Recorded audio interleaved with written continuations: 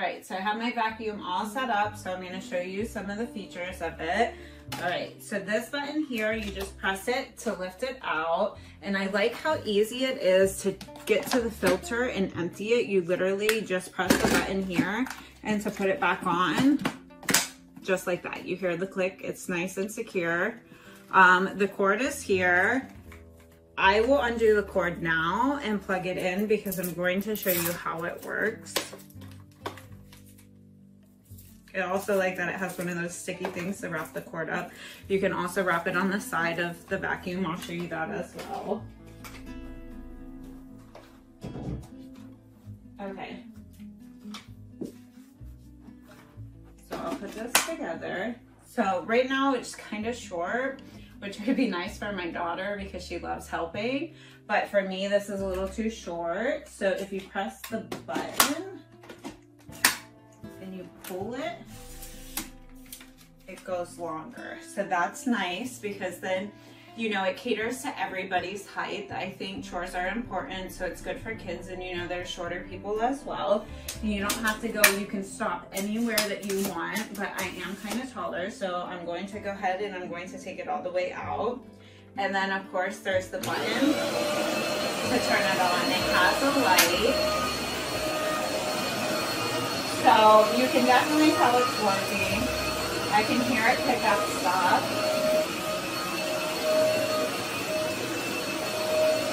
You don't have to hold the button the whole time either, which is nice. I can tell already that it's cleaning my floor. It has a strong suction as well.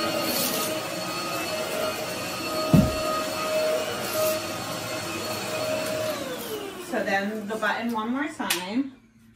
So I'm going to go ahead and I'm going to lower this. And then I like, if you look here and here, it does have a place where the cords can wrap around. I'll show you that in a minute. I do want to do a couple more things with it first. I'm going to show you the attachments and why I like them.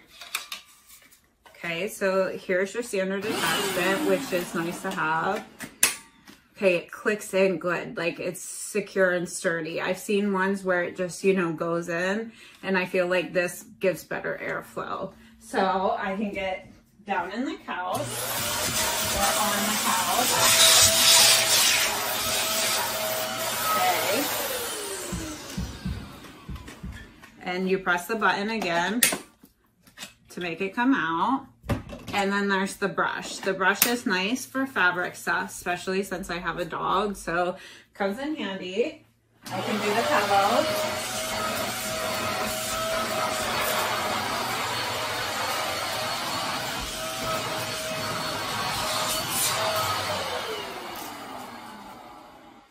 And look, I see the dust and the hair at the bottom here, it picked it up really well. So I am impressed with that. And again, the button to make it come out.